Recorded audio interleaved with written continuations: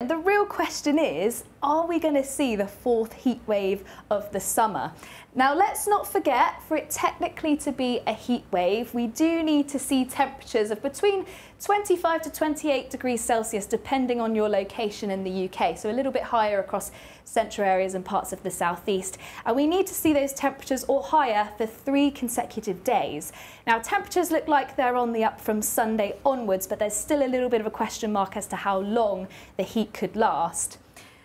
Nevertheless, whether it's a heat wave or not, temperatures are going to be on the up. So here we have temperatures compared to the climatological average here in the UK. And you can see already from these charts, these are daytime temperatures along the bottom from Sunday to Wednesday, and these are overnight temperatures from Sunday night through into Tuesday night. So it's not just the days that are going to be warming up, it's the nights as well. And you can see quite clearly already day-to-day -day temperatures are on the up shown by these slightly darker red colours.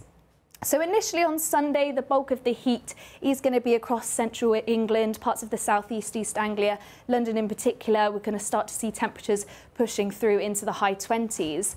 And then from Monday onwards, there's a good chance that we'll start to see temperatures push into the low 30s as well. Once again, initially across central parts of England on Monday, parts of the southeast, but this time pushing a little further north, parts of Yorkshire, Lincolnshire too, could start to see those uh, temperatures push up into the high 20s. And then we really do see that intense heat push through on Tuesday. That's likely going to be the peak of the heat, Tuesday daytime, where we'll start to see those temperatures around 30 degrees, if not a few degrees more. Probably around a 10% chance that we could push up into 34, possibly 35 degrees Celsius. And similar on Wednesday. After that, there's a little bit of model spread, a little bit of uncertainty as to if we're going to see the heat continue or if we're going to see things perhaps turn a little bit more towards average for the time of year. Nevertheless, though, the temperatures are on the up, and not just during the day, but overnight as well. And we're going to start to see humidity increase too. So by kind of Monday night, Tuesday night, a chance actually, particularly around London, that we could see a tropical night. And that's when temperatures don't drop below 20 degrees for a full 24 hour period. And if it's quite humid as well, it doesn't make for the most comfortable uh, sleeping, particularly if you're in the southeast. But how hot is it actually going to get? Let's take a look at that.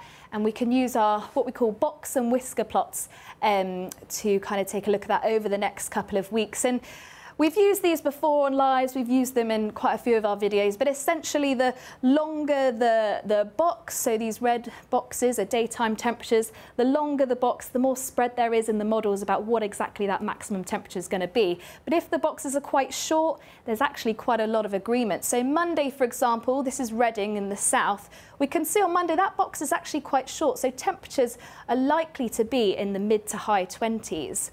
Then as we head into Tuesday, a bit more spread, a bit more of a longer box, so still a little bit of uncertainty as to what the exact highest temperature is going to be, but some models are indicating that we could get kind of 31, 32, possibly a degree or two higher as we head into Tuesday. And as I say, that's likely to be the peak of the heat. And it's not just across the south or northern areas as well are set to see an increase in the heat, perhaps not pushing into 30 degrees, but certainly the mid to high 20s as we head uh, kind of early into next week. And then, as I say, from Wednesday onwards, we see a bit more of a spread in those temperatures, um, so a little bit more of a question mark as to how long that heat's going to last. But certainly Monday, Tuesday, and possibly Wednesday, we're going to see that heat increase.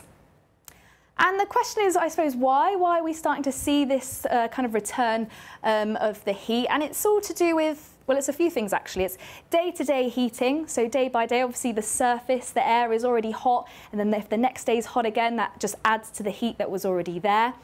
We also have high pressure dominating the weather. And in a high pressure situation generally the air is moving down. And as it does so it compresses. That creates heat as well. So it's all about subsidence.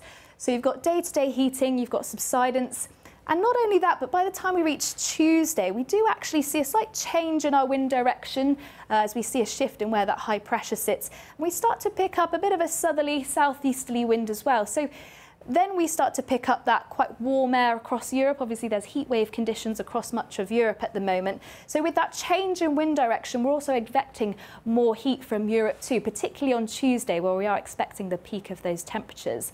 So there's a few things going on, which is why temperatures are starting to increase. But obviously, as I said, for it to be technically a heat wave, we need to see those hot temperatures over three consecutive days.